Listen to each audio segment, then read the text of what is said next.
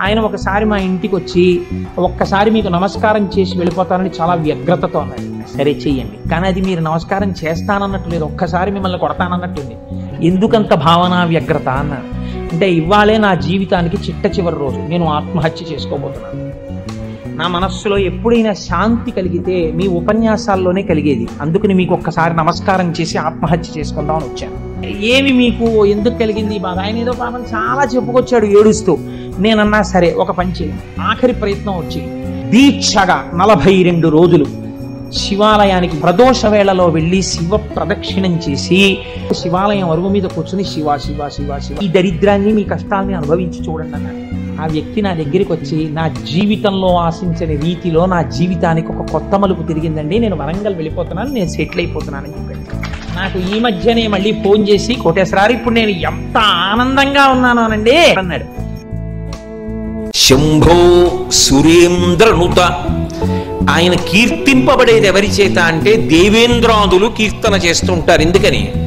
అంటే వాళ్ళ వాళ్ళ లోకములలో శాంతి భద్రతలు రాక్షసుల వలన దాడి లేకపోవడం ఆయన ఆ పదవి ఎందు ఊంచుకుని పరిపాలన నిర్వహించడం కూడా ఎవరి మీద ఆధారపడతాయంటే శివానుగ్రహం మీద ఆధారపడతాయి.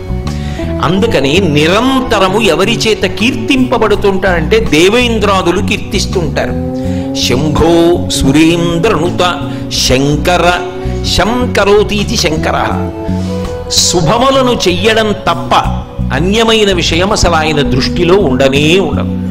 ఎప్పుడు ఏది చేసినా లోకమునకు శుభమొక్కటే చేసేవాడు ఎవరుంటాడో ఆయనని మాత్రమే శంకర అని పిలుస్తారు.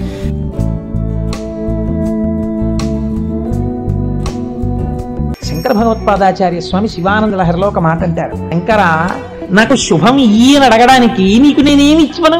కరస్తే హేమాద్రౌ ఒక చేతిలో నువ్వు మేరు పర్వతం బంగారు కొండ పట్టుకున్నావు. బంగారు కొండే నీకుంది ఇంకేమి ఇవ్వను గిరిశ నికటస్తే ధనపతౌ. గిరిశ ఈ పక్కన నవనిధులకు అధిపతి అయిన కుబేరుడు ఇలా నిలబడ్డాడు.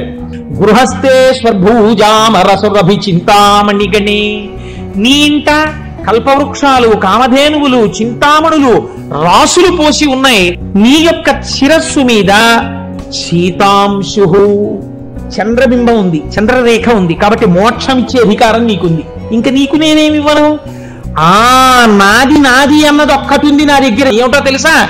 కమర్థం దాస్యేహం భవతు భవదర్థం మమ మనహ నాది అని అస్తమానం నన్ను బంధనంలో పడేసే ఈ మనస్సు నీకు ఇచ్చేస్తా బుచ్చేసుకో ఏదో రకంగా ఆయన పాదాల దగ్గర చేరడానికి శంకరాచార్యులు వారు మన కోసం చేసినటువంటి శ్లోకం. ఎప్పుడైనా ఎక్కడైనా ఎవరికైనా ఏదైనా శుభం కలిగితే. కారణం ఎవరు అంటే శంకరుడే. అందుకే ఒక గొడుసు కవి ఒక మాట అన్నాడు. నేను ఓ పువ్వు పట్టుకొచ్చి మీ పాదాల మీద వేశాను అనుకోండి నేను వేసినది ఇది పువ్వు. మీ పాదముల మీద ఉన్నది ఇది పువ్వు. నేను ఒక పువ్వు పట్టుకెళ్ళి మల్లికార్జున లింగం మీద వేశాను అనుకోండి పరమ ప్రేమతో వేశాను అనుకోండి ఆ పువ్వు ఓ ఏడాది తర్వాత నా ఇంటి మనవడు. నేను ప్రేమతో వేసిన పువ్వు రెండేళ్ళ తర్వాత నా ఇంట్లో మనవరాలు. నేను ప్రేమతో వేసిన పువ్వు నేను కట్టుకునే ఒక ఇల్లు. నేను వేసిన పువ్వు నాలో కలిగేటటువంటి భక్తి. నేను వేసిన పువ్వు ఏ వయస్సులో నాకు రావాలో ఆ వయసులో రావలసినటువంటి వైరాగ్యం.